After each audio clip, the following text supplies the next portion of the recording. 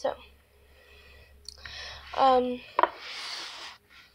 I wanted to make it up to you guys. So, actually, this is not going to be a bonus vlog. I'm just telling you that there will, for this weekend, there will be a morning, weekend morning routine. It's probably not going to be the longest because, um,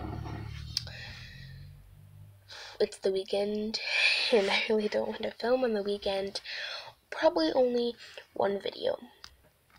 Not for the whole weekend. Two videos.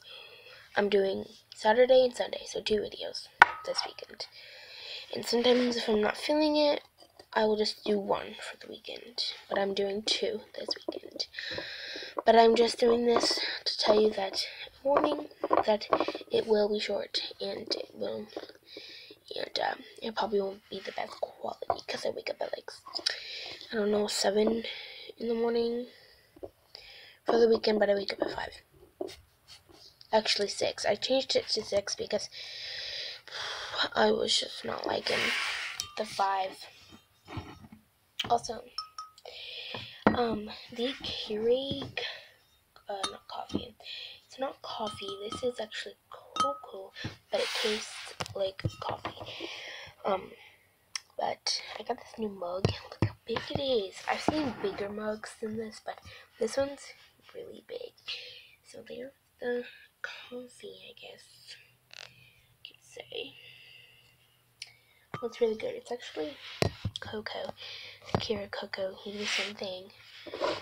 Except it's cocoa and my mom, my mom put some caramel whipped cream on it. So it tastes like coffee, coffee and coke at the same time, and cocoa at the same time. Because I've I've drank coffee before from my mom and dad. There was like different guys. My mom was giving me the car, give me a caramel flavor, and my dad was giving me a walnut. I tasted both of them, and they tasted the exact same.